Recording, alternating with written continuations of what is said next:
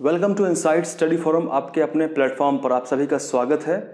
आज के इस वीडियो में हम बात करने वाले हैं कि यूपी टी का अंग्रेज़ी का सिलेबस क्या है और कौन कौन टॉपिक्स को अंग्रेज़ी में शामिल किया गया है, उनको आप ध्यान में रखें और फिर ध्यान में रख करके आप किसी भी पुस्तक से या कोचिंग में आप उन टॉपिक्स को ज़रूर तैयार करें। देखिए बुक्स में बहुत सी बातें लिखी होती हैं, लेकिन वो सारी बातें परीक्षा में नहीं आती हैं।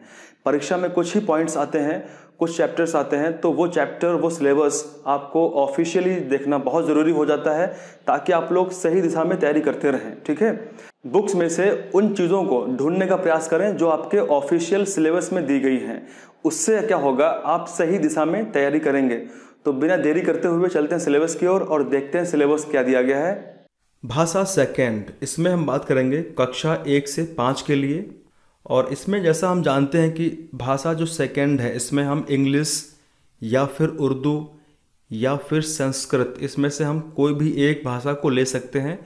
तो इसमें हम बात करेंगे इंग्लिश के लिए, क्योंकि मोस्ट ऑफ़ द कैंडिडेट्स जो होते हैं, वो इंग्लिश को ही ऑप्ट करते हैं और बहुत कम ऐसे होते हैं जो संस्कृत या फिर उर्दू को लेते होंगे, ठीक है?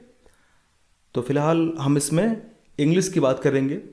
इसमें जो विषय वस्तु दी गई है, वो ये है आपको इसमें अनसीन पैसेज क्वेश्चंस आएँगे, उसके बाद में सेंटेंस जैसे subject and predicate kinds of sentences यानी कितने प्रकार के सेंटेंसेस होते हैं, यहाँ से क्वेश्चंस आएँगे।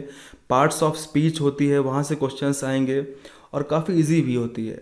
काइंड्स ऑफ़ नाउन नाउन कितने प्रकार के होते हैं, और प्रोनाउन क्या होता है एडवर्व क्या होता है एडजेक्टिव क्या होता है वर्व क्या होती है मतलब एक प्रकार से इंग्लिश का जो ग्रामर सेक्शन होता है, वो ये वाला पूरा पार्ट है। तो यहाँ से इंग्लिश ग्रामर से क्वेश्चंस आएँगे और बहुत ही इजी होगा। आपको इनसाइड स्टडी फोरम पर पूरा ग्रामर पढ़ाया जाएगा। बिल्कुल भी डरने की कोई बात नहीं है। आप अच्छी तरीके से इसको स्कोर करेंगे। उसके बाद में फिर हम बात करेंगे इसमें प्रिपोजिशन के बारे में और कंजक्शन के बारे में। फिर आपका आएगा टेंस टेंस जो होता है वो बहुत ही इंपॉर्टेंट होता है। अगर आपने सही तरीके से टेंस को समझ लिया, जो टेंस वाला पार्ट है इंग्लिश ग्रामर में तो ऑलमोस्ट आपने पूरी ग्रामर को ही समझ लिया। क्योंकि टेंस जो होता है, वो बहुत ज़रूरी होता है समझना। कितने टाइप्स के टेंस होते हैं, वो सब कुछ आपको पढ़ना पड़ेगा और आपको पूरा पढ़ाया भी जाएगा। ग्रामर के अगर हम बात करें, कुछ लेक्चर्स पहले से पढ़े हुए हैं चैनल पर, जिसमें पूरा टेंस फिनिश किया गया है तो अगर आप चाहते हैं तो आप जाएँगे प्लेलिस्ट में, वहाँ पे इंग्लिश ग्रामर का आप सर्च करेंगे और उसको पूरा प्रेजेंट से लेकर के फ्यूचर तक, यानी सभी टेंसेस को कंप्लीट किया गया है बहुत ही अच्छी तरीके से। तो अगर आप चाहते हैं तो उसको आप पढ़ सकते हैं स्टडी कर सकते हैं। लेकिन सी टेट या यू टेट के लिए ये पूरा ग्रामर फिर से बनाया जाएगा तो इसमें कोई चिंता वाली बात नहीं है। उसके बाद फिर बात करेंगे आर्टिकल्स की पंक्चुएशन कौन कौन से होते हैं और पंक्चुएशन क्या होता है। वर्ड फॉर्मेशन क्या होता है? एक्टिव और पैसिव वॉइस क्या होता है? सिंगुलर और प्लूरल क्या होते हैं? जेंडर क्या होता है? तो यहाँ से क्वेश्चंस आएँगे। अब देखिए, एक बेसिक सा डिफरेंस है यूपी टेट में और सी टेट में। डिफरेंस ये है कि सी टेट में जो सिलेबस दिया गया है प्रत्येक विषय का, उसमें से पंद्रह अंकों के जो क्वेश्चंस आएँगे वो पेडागोजी से आएँगे। यानी सी टेट में प्रत्येक विषय में पेडागोजी दी गई है, लेकिन यूपी टेट में ऐसा नहीं है यूपी टेट में प्रत्येक विषय में पेडागोजी से एक या दो क्वेश्चंस आ सकते हैं, लेकिन मैक्सिमम क्वेश्चंस कहाँ से आएँगे? आपके कंटेंट से आएँगे, जो कंटेंट आपका दिया गया है। ठीक है?